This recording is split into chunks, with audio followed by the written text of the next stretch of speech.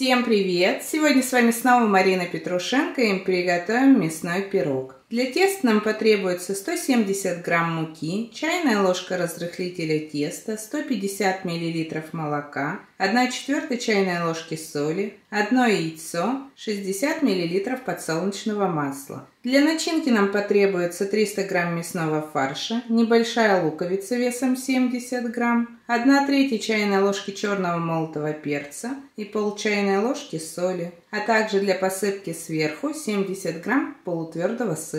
Приготовим начинку, смешаем фарш, соль и черный перец. Добавим мелко порезанный лук, все хорошо перемешаем. Отбивать фарш не надо. Начинка готова.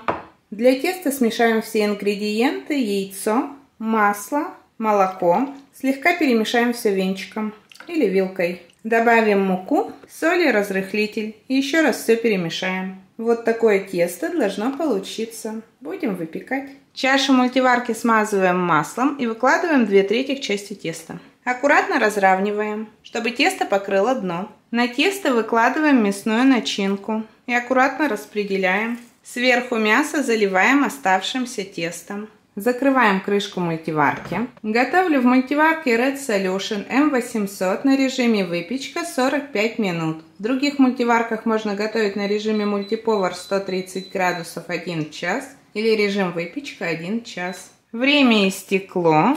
Пирог готов. Отключаем подогрев и через 5 минут будем доставать. Достаем пирог с помощью корзины пароварки, просто переворачиваем на нее. Пока пирог горячий, посыпаем обильно тертым сыром, чтобы сыр успел расплавиться. И сразу же посыпаем любой зеленью, у меня зеленый лук. Давайте разрежем пирог и посмотрим, как он выглядит в разрезе. Как вы видите, тесто хорошо пропеклось, поднялось, мясная начинка тоже успела приготовиться. Огромное всем спасибо за лайки и комментарии. Подписывайтесь на канал, нажимайте колокольчик, чтобы первыми получать уведомления о новых рецептах. Всем приятного чаепития и до новых встреч!